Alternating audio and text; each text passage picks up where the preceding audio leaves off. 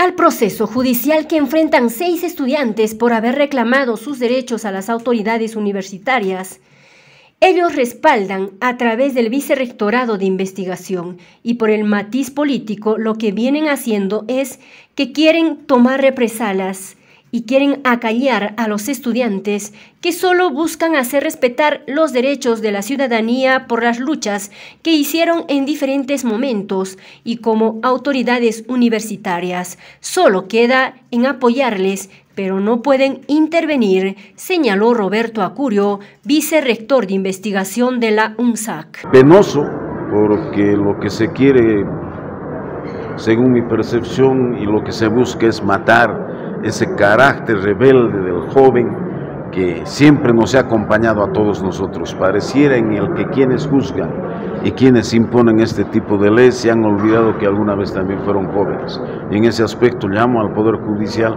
a tener que comprender estas eh, expresiones sociales, estas manifestaciones sociales que es común a la construcción de la patria que queremos. ¿Cree que hay una persecución política de estos jóvenes? No voy a especular, pero por el tipo y por la forma como se está actuando, se entiende que hay, una, hay un matiz político.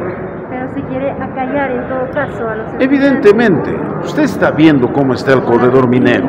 Hay unas expresiones sociales de protesta y la gente no protesta porque quiere, no es porque algún dirigente va allí y suelta cualquier discurso para poder eh, enervar a la gente son cuestiones eh, que aprieta el bolsillo de la población, que aprieta las necesidades de la población, viendo que se están llevando nuestra riqueza y evidentemente tienen el derecho de actuar, tienen el derecho de reclamar. ¿La UNSA puede apoyar legalmente con ah, defensa legal a estos estudiantes? Oficialmente estamos impedidos.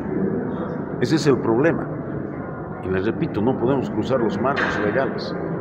Que se está buscando la forma de apoyarlos, sí, se les tiene que apoyar. Son estudiantes de la tricentenaria. Y el momento en el que se, dio, se dieron esos casos, había pues una explosión social a nivel nacional. La nueva ley universitaria no contempla sentencias a estudiantes, pero se debe entender que los jóvenes solo buscan defender sus derechos de ellos y de la ciudadanía. Evidentemente, a un joven que lo estén ahí sentenciando con un año, con seis meses, ya es pues una mancha deshonrosa, ¿no? A pesar de que debía ser un galón más porque ellos han salido en defensa de los intereses de la población.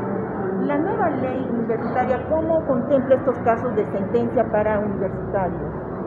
Bueno, que yo sepa, no dice nada solamente hay antes se, marca de que pues, son estudiantes, aquellos que no tengan antecedentes judiciales, pero no creo que se vaya tan lejos desde el Poder Judicial. Creo que hay hombres que entienden y son parte de la problemática económica y social del país, las que tienen que tomar las decisiones más justas y razonables, entendiendo que el país pues, es un es una sociedad en construcción y estos conflictos son parte de la naturaleza humana y peor aún de un país como el nuestro. thank you